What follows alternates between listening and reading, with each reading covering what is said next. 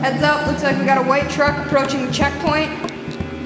Let's check it out. Let's see what he wants, guys.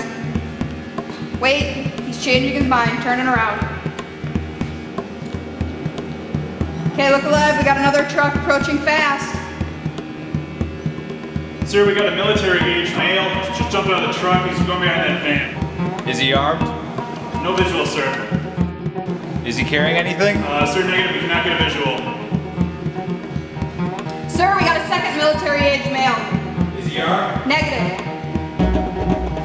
Sir, get down on the ground. Sir, get down on the ground. Sir, we need you to get down on the ground now. He's on the move, sir. All right, I'll keep eyes on this guy. What's the guy in front of the van doing?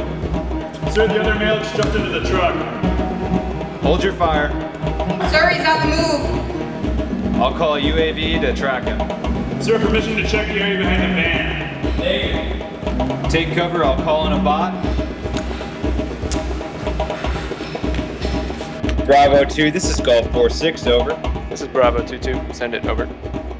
Requesting UAV surveillance at grid 5900-0530, break.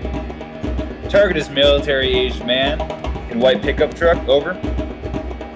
Roger, Golf 4-6. Searching now, over. Roger that, Bravo 2-2. Bravo, this is Golf 4-6, over. This is Bravo 2-3. Send it over. Requesting remote operation of UGV to investigate possible IED, over. Roger. Connecting now. Can you describe the area of interest? Over. Area of interest approximately 50 feet due south of Grover's current position. Break. Then 10 feet due east on the ground near the front of the white panel van. Over. Copy that. Deploying UGV. Over. Roger, Bravo 2-3. Over. Golf 4-6. I am moving toward a white van. Is that the vehicle of interest? Over. Affirmative, Bravo 2-3. Continue towards. Over. Roger. Golf 4-6. Over. Golf 4-6 out.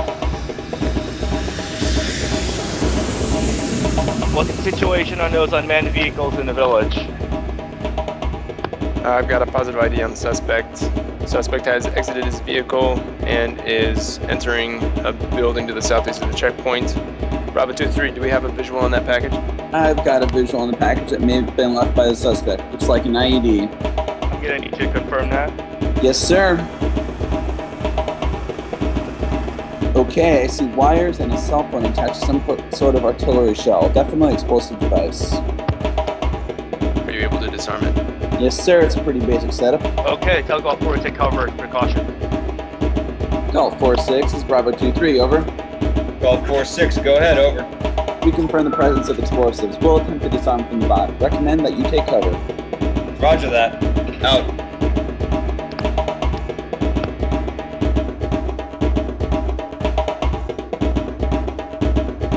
IED disarmed. Good work, everyone.